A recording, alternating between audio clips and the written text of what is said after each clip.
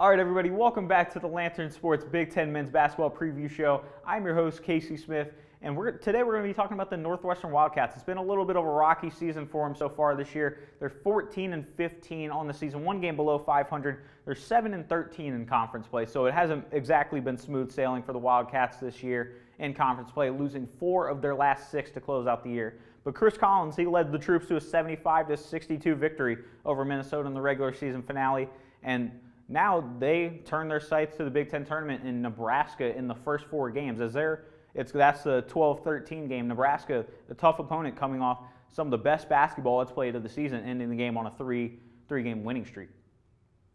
Some key stats that have factored into uh, Northwestern's success to this point. They have the sixth best offensive turnover percentage. You may be asking yourself, what does that mean? That means they take care of the basketball. They don't turn it over a ton. They turn it over the sixth least uh, percent amount of times of possessions. So if they're able to hold on to the basketball and be able to go score it, that's more opportunities for them. If they're dishing it away, that's more, less opportunities for them and more opportunities for the opposition to go and get a bucket themselves. And they've lived and died by the three. They've made 8.3 three pointers per game this season, which is fourth in the Big Ten.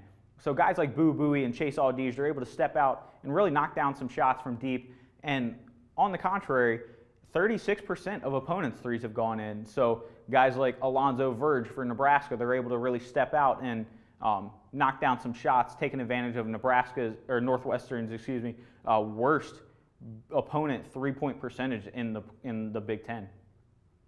One key player for Northwestern, though, that's going to be the difference in this game is Pete Nance. The six foot 10 forward right there in the middle. He's averaging 14.7 points per game, and he's reached double figures in all but four games this season. So he is a scoring machine down low, presents a matchup nightmare for uh, Nebraska. So um, he's not just a post player, though. He's able to step out, make some mid range shots, and even step beyond the arc and knock down 44.9% of his three pointers this season, which, I mean, you got to take it with a grain of salt because he only has 89 attempts on the year, but he's made 40 of them. That's 44.9% for our uh, mathematicians at home he's really able to be a versatile player for uh, Northwestern's offense, and they really take advantage. When he records a double double, he's averaging six rebounds per game. But when he has a double double, he has the double digit points, double digit rebounds.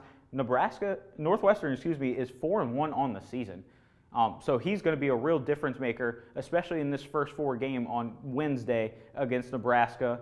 Um, we'll see how it plays out for him. Until next time, I'm Casey Smith with the Lantern Sports Big Ten Men's Basketball Tournament Preview. Until next time, we'll see you. Take care.